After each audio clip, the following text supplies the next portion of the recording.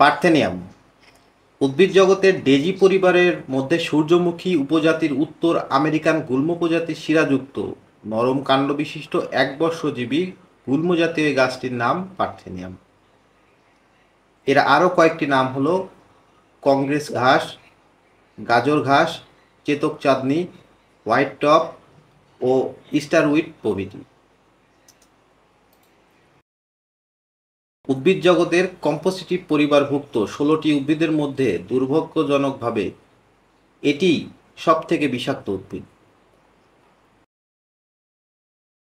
পত্র খাদযুক্ত অনেকটা চন্দ্রমল্লিকা গাছের পাতার মতো।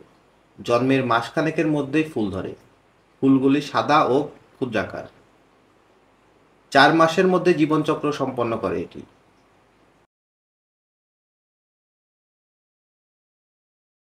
বীজ হালকা প্যারাশুটের মতো হওয়ার কারণে তা দ্রুত গতিতেই ছড়িয়ে পড়ে এবং দ্রুততার সাথে বংশবিস্তার করে।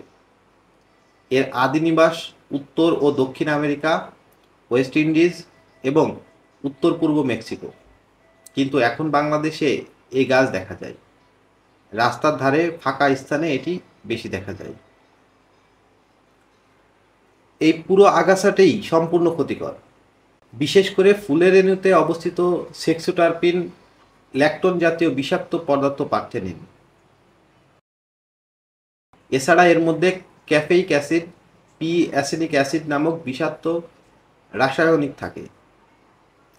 ক্ষতস্থানে রক্তের সাথে মিশে চর্মরোগ হতে পারে। এর ফুলের রেণু বীজ নাকে প্রবেশ করলে হাঁপানি, শ্বাসকষ্ট এবং জ্বর হয়। গরু এই আগাছা খেলে তার অন্তে ঘা দেখা দেয়। দুধ উৎপাদন কমে যায়। এর পুষ্পরেণু, বেগুন, টমেটো, মরিচের মতো সবজি উৎপাদন ব্যাহত করে। এছাড়া মাটিতে নাইট্রোজেন ধরে রাখার প্রক্রিয়াও ব্যাহত করে এই পার্থেনিয়াম। এটি ভক্ষণে মহিষ, ঘোড়া, গাধা, ভেড়া ও ছাগলের মুখে পৌষ্টিকতন্ত্রে ঘা হয়, যকৃতে পচন রোগের প্রাদুর্ভাব দেখা দেয়। যাদের অ্যালার্জি রয়েছে, তাদের অধিক সচেতন হতে হবে।